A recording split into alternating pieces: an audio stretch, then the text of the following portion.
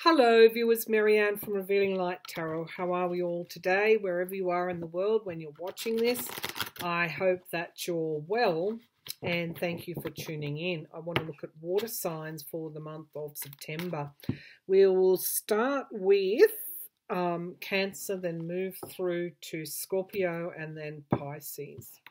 Decided to look at water signs first up because uh, I just feel that we are all being asked to understand uh, how important and how much strength that um, I would say life affirming emotions do actually give us. Uh, and I do feel um, as I've said previ in previous videos, if we look at what actually is the age of Aquarius, it is an age where we are more in touch with our emotions, um, our emotional bodies, things like empathy, compassion, um, joy, happiness. Uh, we are moving from that dark into that light, light filled and strong emotions. All right, so let's have a look at Cancer to begin with. Um, Messenger of the Earth has come out. Um, and I'm seeing also that this will uh, be very important for our relationship with our uh, with our um, our planet, with our Earth, with humanity, the messenger of Earth. Okay, so let's take a look at Cancer. Because Cancer is the home builder, the home, uh, someone that creates uh, harmony or that likes harmony in the home. But it's by no means a, a sign that takes a back seat. Cancer is a cardinal sign, which means that it's often the one, you know, coming forward. I think someone, one of my um, friends described it as, uh, you know, the, the life of the party in the in a, the same sort of way that Leo is, but uh, but of course through through those emotional connections. Um, so, Cancer, show me Cancer for the month of September. Cancer for the month of September. Show me Cancer for the month of September. I'm using the Good Tarot. The Eight of Fire, that's interesting. Usually this is uh, the Eight of Wands in other packs and you've got something, messages, news coming forward very, very quickly. But this is uh, showing me, uh, to me, this feels more like lots and lots of enlightenment coming forward for Cancer. This is a fire energy, so it's inspiration. It's almost like the light bulb moments are, are, are appearing in September in relation to a particular matter. I'm not sure what that matter is. Um, it could be uh, the environment around you. I don't feel this tower is for um, some Cancerians that I'm speaking to. This is more about uh, a reaction to what is going on around you at the moment. And know that when you see the tower appear, it's actually a healing for you.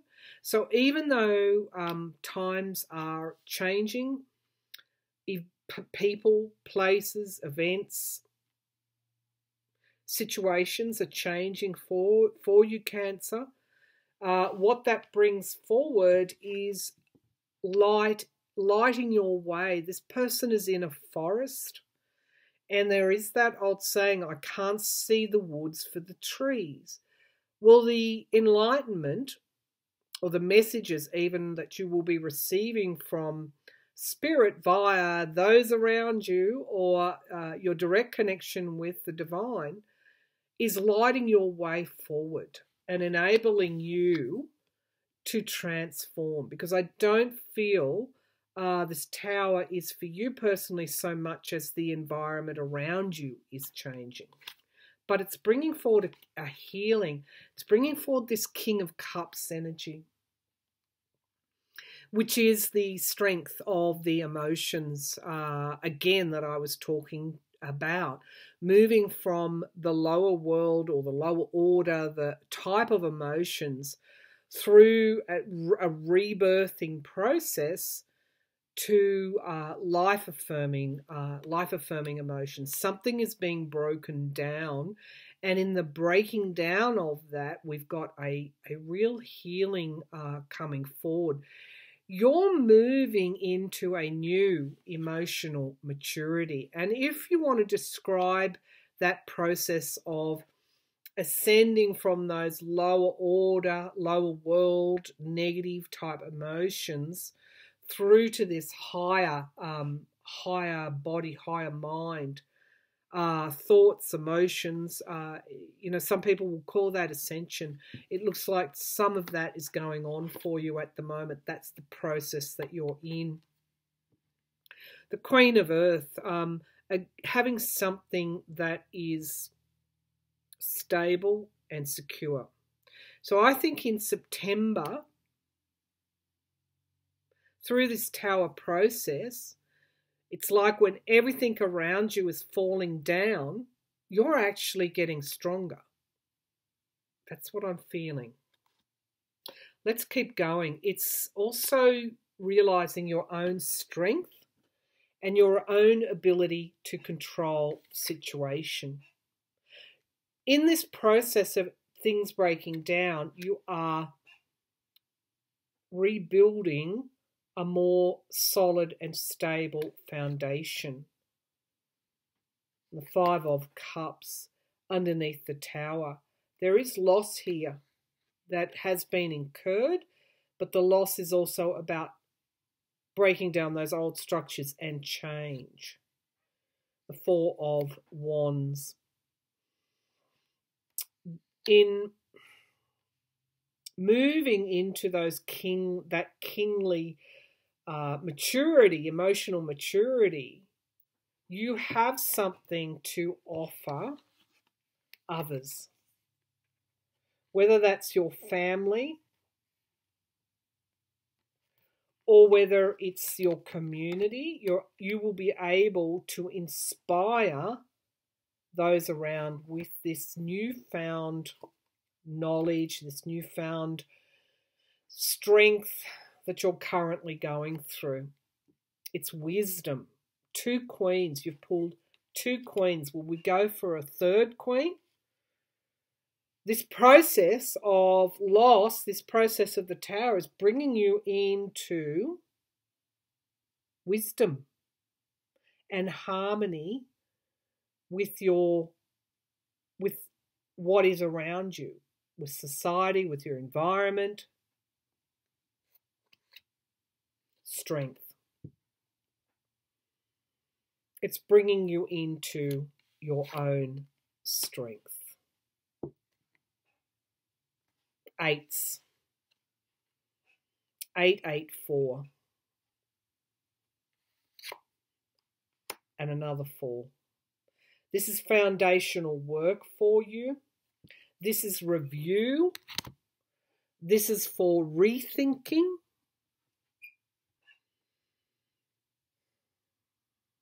And this will have a flow on effect to everything you do. And September is a really important month in relation to this. Okay, Cancer. Some imp an important month and some important uh, changes uh, going on at the foundational level for you. All right, let's move to Scorpio. Yes, Scorpio. Scorpio um, is a fixed sign.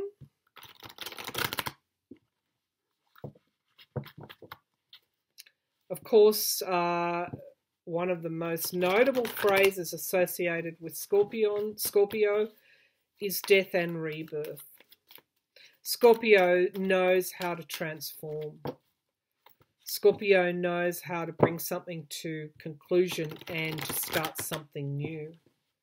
Scorpio, even though they're not a fire sign, remind me of the water version of the phoenix rising from the ashes.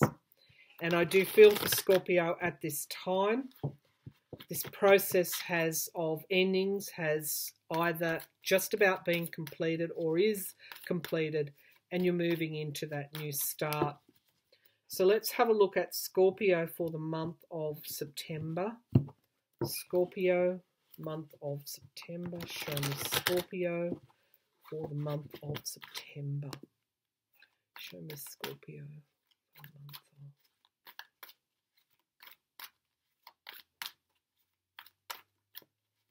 Yeah. It's like the cobwebs are being blown away. The Ten of Air. Yeah, this is the ending of that cycle, um, bringing something to a conclusion. Um, it hasn't been an easy with this Ten of uh, Swords. It is the Dark Night of the Soul. Hasn't been an easy situation that you are bringing to a close. The Messenger of Fire. So there is a renewed. Um, this person is looking to the light. Uh, and we've got all these, uh, it reminds me of the orbs that I see here in my room. Um, this has been a deeply, I think, a, a profound spiritual process for you. An, enlight, an enlightening process for you, but one that re uh, renews your inspiration and passion and belief.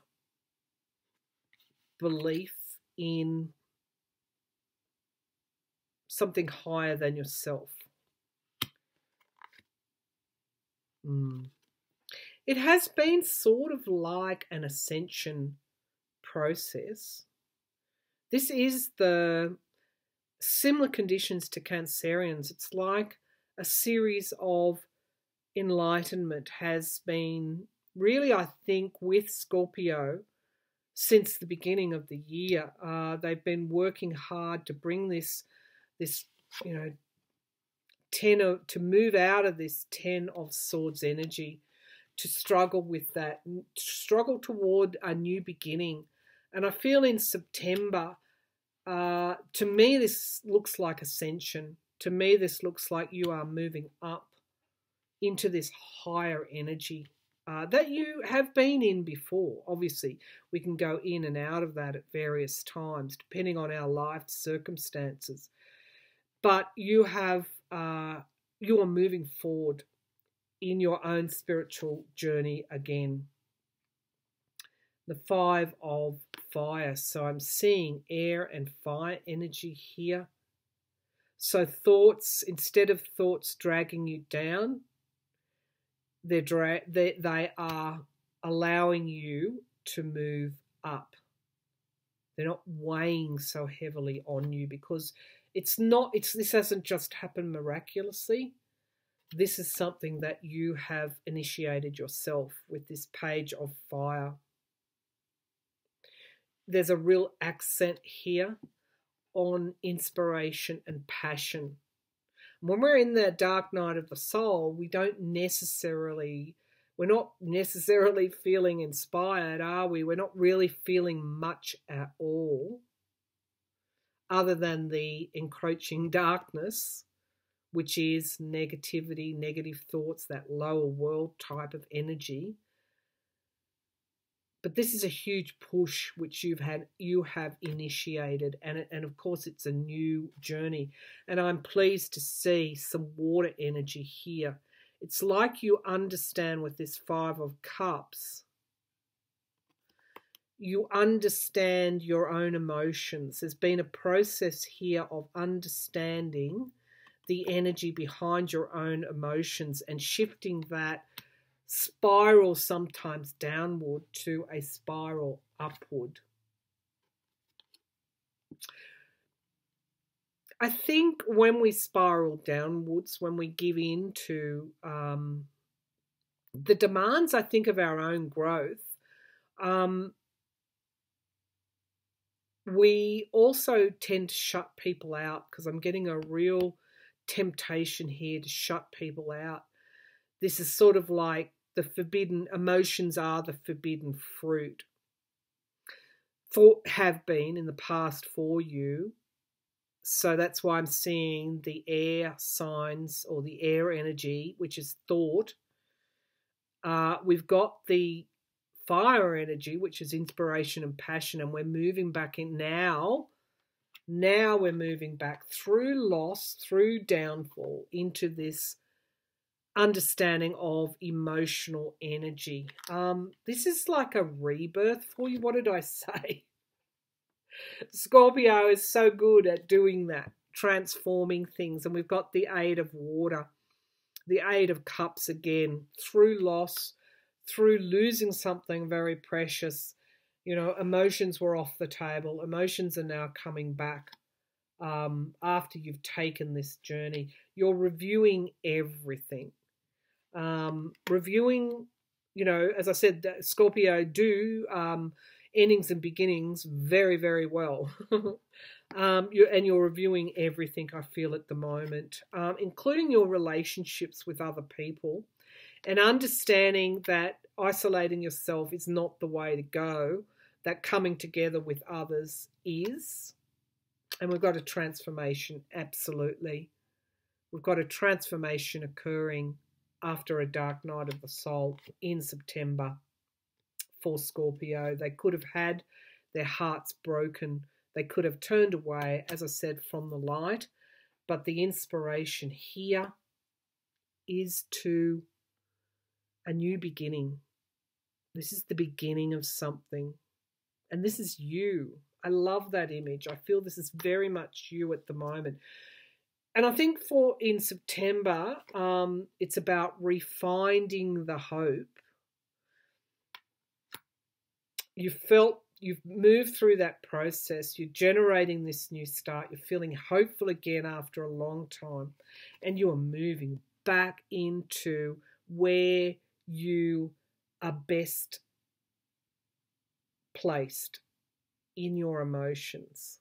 You are best, you are strongest when you don't turn off your emotions, but when you embrace them and heal, let them heal you Scorpio, you've become emotionally mature. So, this is a common thread running through most of the signs, which is why, again, why I wanted to do the water signs today, because I feel very strongly this King of Cups, wisdom, emotional wisdom, emotional maturity, really understanding emotions and what they give us and how they can make us strong re understanding that or becoming aware again of that for the first time in a long time. So I'm pleased to see that, Scorpio. That's an emotional healing for you, and you are stronger as a result of it. All right, let's move to Pisces. That Pisces energy. Again, you know, melding um, spiritual, psychic, knowledge of other realms, um, feeling the other, the other, otherworldly um, realms, feeling those. That's what Pisces do. What's happening for Pisces, and then they they are a water sign, so there's an emotional connection there with spirit, with the spiritual realm. Show me what's coming up for Pisces in September. September 2020, what's happening for Pisces in September? What's happening for Pisces in September? What's happening for Pisces in September?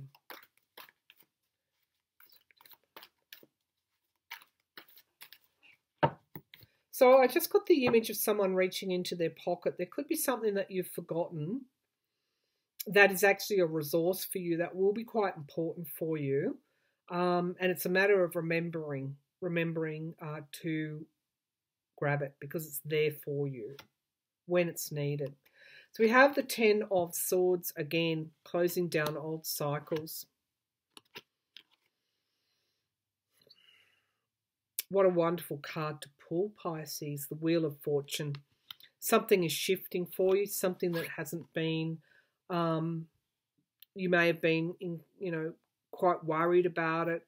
Something is changing for you. Uh, these are both tens, which is talking about endings and new beginnings.